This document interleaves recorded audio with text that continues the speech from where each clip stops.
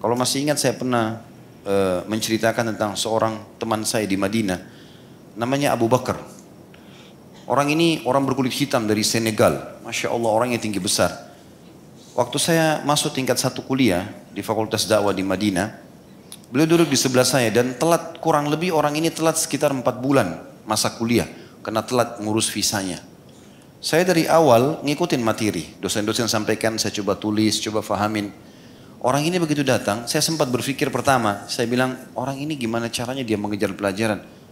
Empat bulan, satu hari lima kali pertemuan, lima dosen datang. Satu kali pertemuan lima puluh menit minimal sampai enam puluh menit.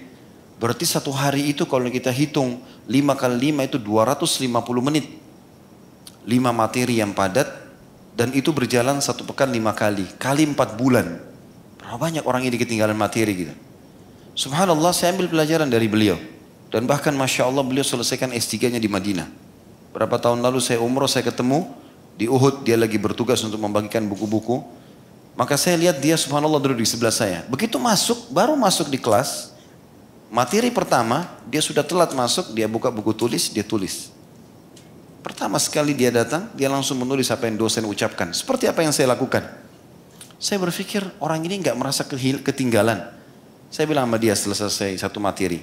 Akhi, eh, namanya siapa? Dia bilang Abu Bakar. Dari mana? Dari Senegal. Kenalan sebentar. Saya juga sebutkan saya dari mana. Kemudian saya tanya, apa pertimbangan eh, begitu tadi masuk eh, peraturan atau perilaku yang paling pertama adalah menulis apa yang dosen bilang. Kamu sudah ketinggalan 4 bulan. Dia bilang, paling tidak, saya mulai dari sekarang ke depan.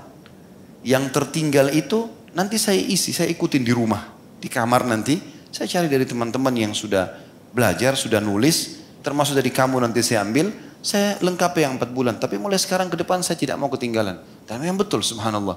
Waktu hari ujian, pada saat hari ujian, semua tulisan yang mulai dia masuk itu, lengkap tulisan dia. Karena waktu pas malam ujian kami sering diskusi.